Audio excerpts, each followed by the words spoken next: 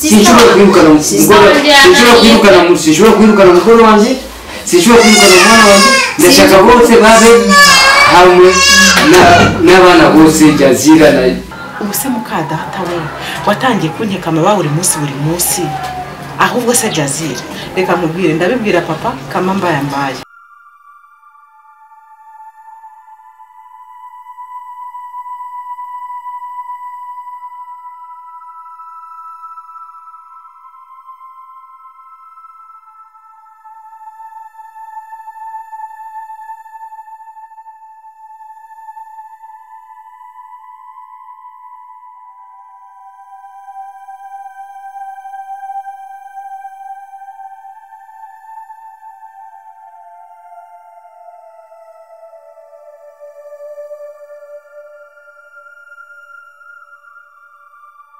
ubu se mukadata we watangiye kunkeka amababa buri munsi buri munsi.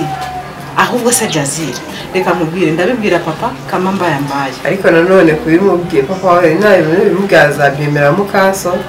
Noneho na jazira buriya ntibazafata na nyinya noneho bakakurwanyiriza rimwe. Jazira impamvu ya- yandengeraga ni uko yari azi ko ikintu cyambayeho ari we wakinkoreye ariko nanone ashobora kudahinuka cyane yuko asigaye avuga ngo ndi amaraso ye.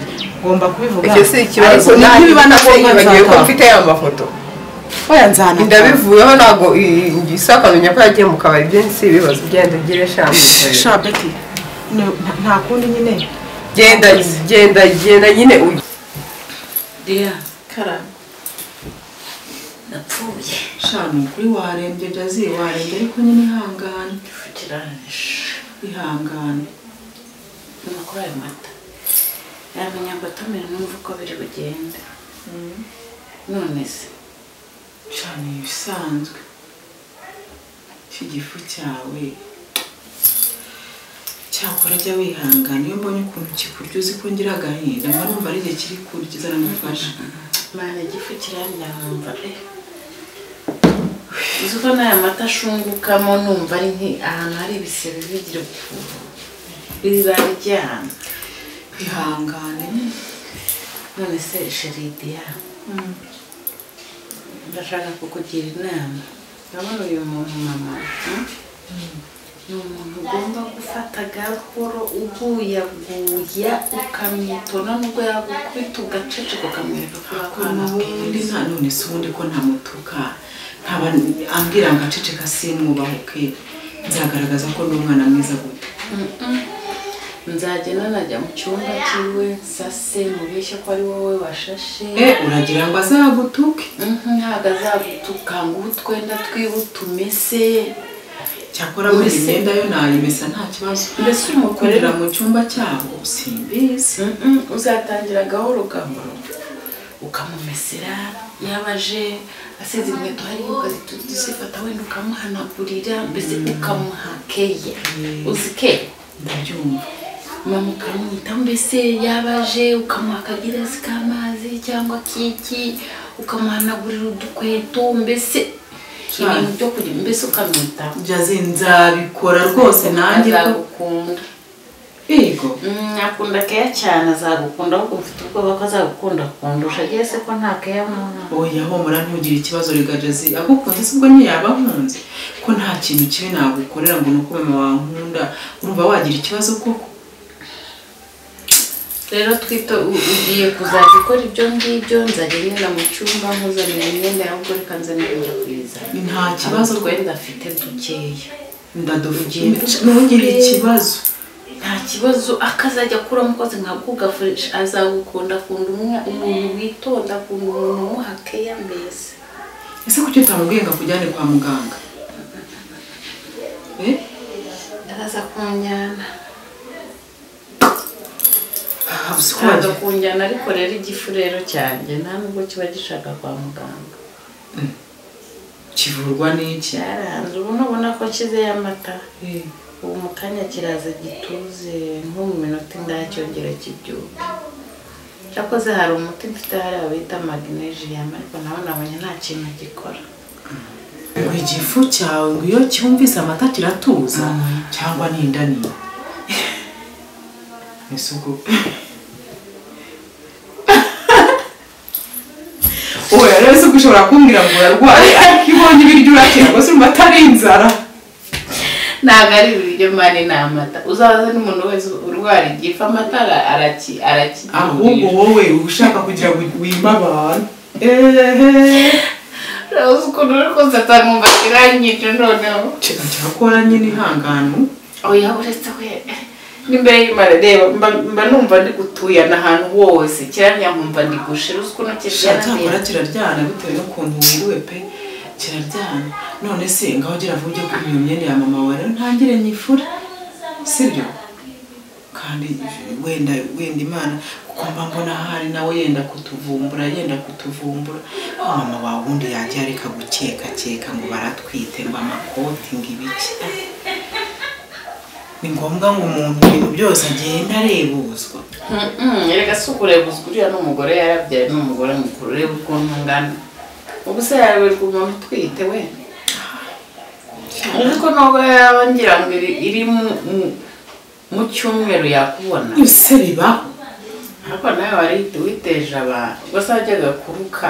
Muri ku meza birajwishyuye ugenda wirukanka wirukanka ngo ugiye kuruka. Ubwo se wari wari kubona ari gu- ari busigare Sha ahangaha nta makuru ufite cyangwa ko na papa yatangiye kubishona nawe yabi- yabimbajije izina ry'imana ariko impamvu yabimbajije ni ukubera mama.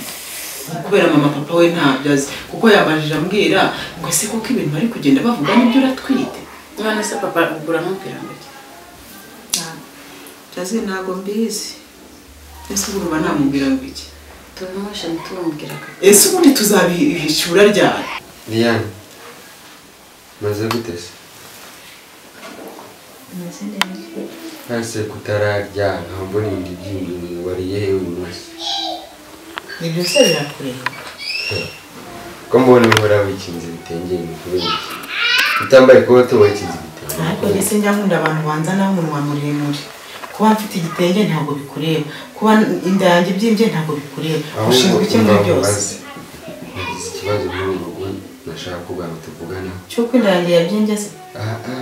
Mm. si iki- si icyo ngicyo. Njyewe ubu narahuye n'ikibazo uriya mugore w'ahangaha. Ngwiki ntabwo guteze ibintu yaje kumbwira yasanze ari mu gikoni tangira kunuka ngo igitoki cyabaye imineke. Iyo umubwira akigeze cyangwa nawe ukayirya? Ese nimba abona nateka igitoki ngo kishi kitazaba imineke mbona byagenda utegeye nkoresha ibyo bambwiye. Ahubwo ikibazo cyajemo bose bajya kugura ibitoki bikomeye wagira ngo bagiye gutara benge.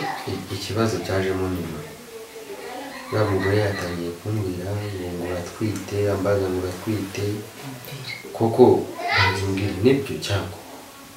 Ariko ubwo niyo waba warayintiye si we muhungu uba muri uru rugo se? Nguterera yese ahangaha none se wowe wumva naba narayitwariye hehe? Ubwo se wabyemeye? Nanjye sinabyemeye niyo mpamvu uje umbwira se ngo mpora nikinze ibitenge ngo inda yanjye nawe nyine nje mbikubaza ko nawe yaje ambwira ngo ngo none wagira ngo neke kuko urabona biriya ahangaha ibibazo biba zicicikana ngo uratwite hano ubwo ziba zicicikana njye ngo si si- mb- mbibona aho ngaho gutyo ngaho ngo warutse ngaho ngo biki. Njye usibye ko wenda kugendera ku nkuru z'abantu kuri ikintu uta- utaribonera cyangwa udafitiye gihamya ntukacyubake cyangwa ugihagarareho none ubu wowe ntabwo wagira ikibazo uvuga ikibazo cyabaho ko abantu bagira ibibazo mu nda zabo bagura n'ibibazo ku bintu baba bariye. ese nimba narariye nkabura n'ibiryo mwatetse ngo biri mu nyobwa ntabirya? Nkagira icyo kibazo ngahaguruka ni inkuru yarayibaye kimomo ngo diane diane diane. Njye mbibonera ahangaha nyine akavuga kagenda kaba muri iyi minsi yose ntabajya ukabona none se aho ubwo ngubwo nyakubahwa yaje kukubwira ngo ndatwite ashaka kugera ku ki njyewe yarama arambwira ngo nze nkuneke menye neza kuko nimba utwite hanyuma se nubimenye. Ubwo sinzi n'icyo ashaka gukora ahubwo yaje aranyingingira anyongera n'amafaranga mu mafaranga amwe ati ngomba kongeza umushahara ukabaha neza. Mba unekere nimba atwite? Ntuba umwana kandi uri ikigoryi. Wumvise? Amafaranga uyemeye ahubwo nazajya nakwegera. Ujye umu- ujye umubwira ibitabo by'umubwira ati nanjye ndi kumureneka ati mbona rukaruka ikibazo si icyo ahubwo ya mugore niyo namubwiza iki niyo nakora iki? Ni ishitani uriya mugore njyewe nabonye tutazashobokana kuko? Njyewe nahisemo ngo akazi nkareke n'isezere nigendere ubwo se wareka akazi ushingiye ku kigo kuko yakubwiye ngo ngo- ngo uneke se ko ntwite agenda azana ibindi bibazo bivuye hirya no hino nk'aho ibyo kuneka rege naje kuneka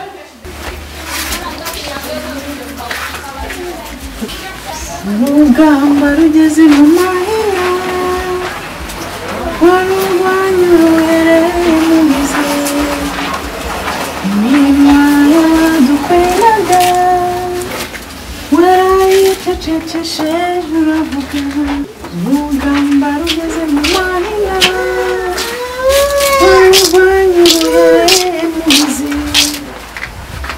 niko mukobwa iyi myenda ni wowe wayimeshe yego ni njyewe umfurira ute rero Hmm? umfurira gute reba ukuntu wamfubirije imyenda njyewe nageze gusaba kumesera nageze gusaba kumesera ariko nayikesha reba ukuntu wamfubiriza imyenda ni uku nguku bafura ni uku bafura ubu ni uku nguku bafura wari wabona jazira mfurira imyenda wari wabona hari undi muntu ufurira imyenda ndakwiyamya n'ikindi gihe ntuzongere kumfurira. Uranyumva? Ariko nayikesha. Wayikesheje hehe? Se ubu se bumureye ni ibiki koko. Iyo ubwiza Ah, ah, bana induru sinshaka kuzajya umese. Ibi ni biki? Ni iby'ubuntu. Ni biki ibi ngibi eh? Amajazira amajazira nakuuliza ngubajije amajazira ibi ni biki kozana hanyuma njya mfurira imyenda mfurira Oya, imyenda niwo uri kunyikoza bambwira ngo umwana. amese Eh, Uri ibyo kunyikoza namusabye umwana. se kugira ngo ajye amese